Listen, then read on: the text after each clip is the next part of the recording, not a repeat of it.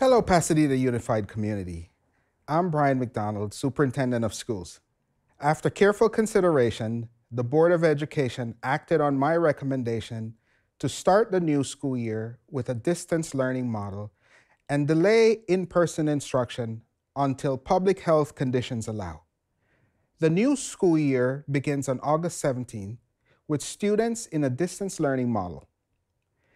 This decision was a difficult one, but with COVID 19 cases continuing to increase locally and in Los Angeles County, we cannot and will not take chances with the health and safety of our students and staff. We will continue to closely monitor and evaluate public health conditions and data. We are preparing for the eventual return of students and staff for in person learning. In accordance with the most recent state and local guidelines, we will switch to in person learning when health conditions allow. We have been preparing for the possibility of a full distance learning model.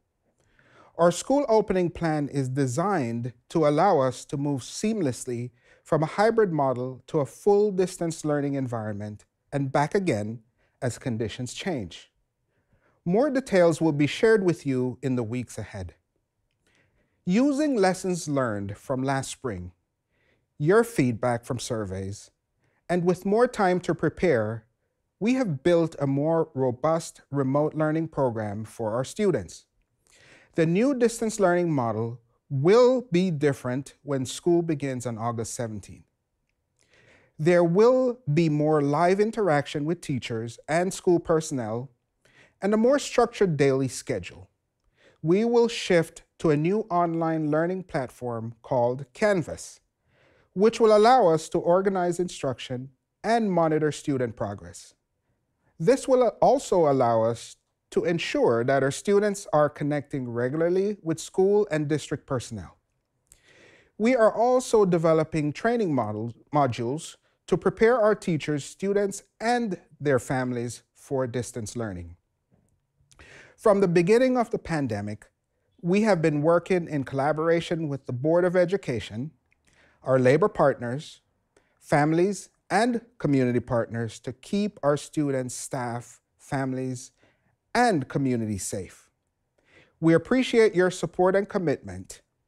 And I also want to thank the team that has been working hard to plan our response since the early days of this pandemic. I particularly want to thank our parents and families. We know that combining work, family, and remote learning from home is hard. When we asked for your feedback to guide our planning, you responded. We've had a very high completion rate on the surveys, and your feedback has been invaluable.